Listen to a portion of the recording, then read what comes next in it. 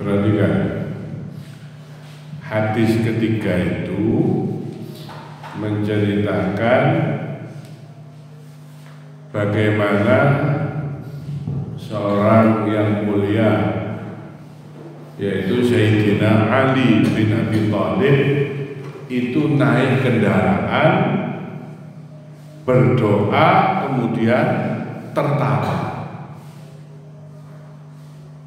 Ketika ditanya Sayyidina Ali, "Ya Amirul Mukminin, jenengan kenapa naik kendaraan kok terus doa itu dan tertawa seperti itu?" Apa kata Sayyidina Ali? Saya membaca doa itu karena itu doa yang dibawa dibaca oleh Rasulullah. Saya tertawa karena Rasulullah ketika itu saya lihat juga tertawa.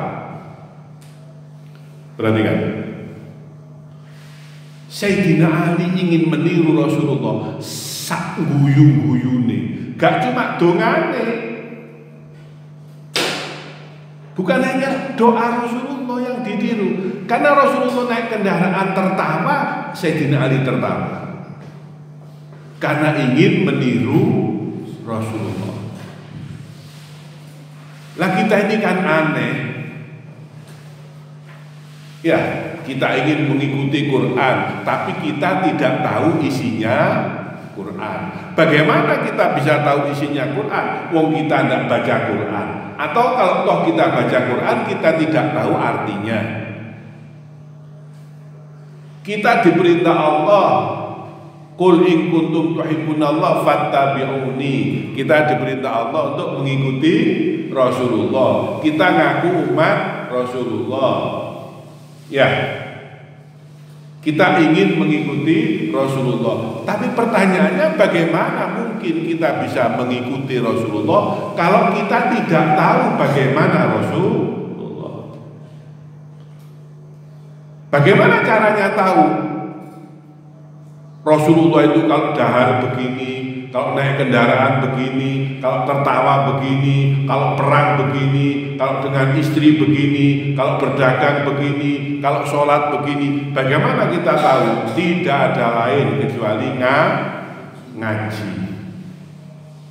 Lah aneh itu namanya anomali. Tahu anomali kalian? Keanehan. Bagus. Ya, anomali kehidupan manusia. Ngaku umat Rasulullah ngaku ingin niru Rasulullah tapi tidak tahu bagaimana Rasulullah. Supaya tahu tidak bisa tidak harus ngaji. Perhatikan maka salah satu dawuh Rasulullah adalah mayyuridillahu bi khaira yufaqihu fiddin kalau Allah mengendaki orang itu jadi orang baik, maka orang itu akan dibuat paham, ngerti tentang agama, dibuat tertarik mau ngaji. Kenapa saya pelajari hadis ini? Kenapa kalau orang ngaji itu berarti orang baik? Karena kalau orang ngaji, dia akan tahu isinya Quran, dia akan tahu bagaimana Rasulullah, kemudian dia bisa meniru Rasulullah. Paham?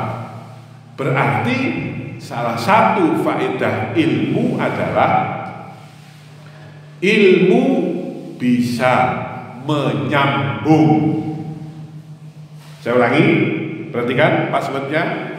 Ilmu bisa menyambungkan kita dengan Quran ilmu bisa menyambungkan kita dengan Rasulullah. Coba seperti ini kalian ngaji kitab hadis. Kalian tahu, oh ternyata Rasulullah itu begitu. Lah kalau orang tidak ngaji kan tidak ngerti. Oh, apa ngerti? Enggak. Nah kalau tidak ngaji kan tidak tahu Rasulullah bagaimana. Sekarang makanya bersyukurlah kalian Kalian punya orang tua yang terbaik. Orang tua yang terbaik itu orang tua yang memikirkan bagaimana anaknya bisa mengenal agama, mengenal Quran, mengenal Allah, mengenal Rasulullah. Kalian harus bersyukur kalian punya orang tua terbaik, dikirim ngaji.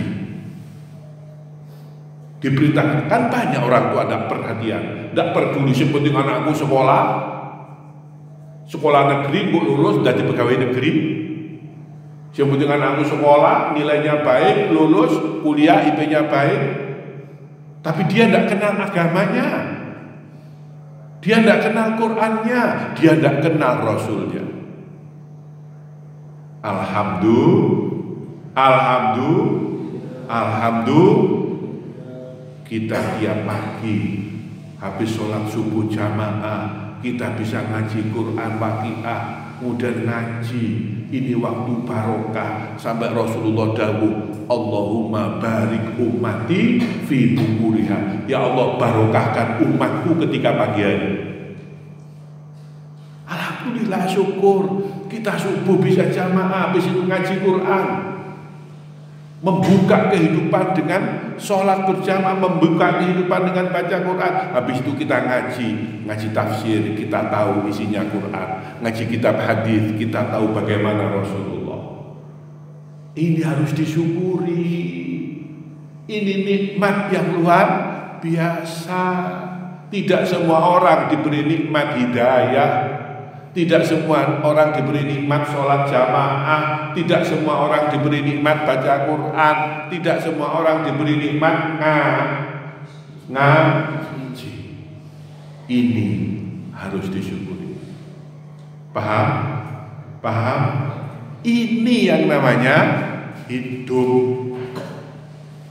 Hidup itu harus Ya punya target Bukan hidup itu cuma ya hanya dengan kesenangan hidup itu adalah bagaimana kita mencari ridho Allah, mengikuti sunnah, mengikuti sunnah Rasul.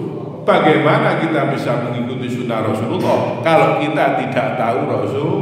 Bagaimana bisa kita tahu Rasulullah kalau kita tidak ngaji tentang Rasulullah? Paham?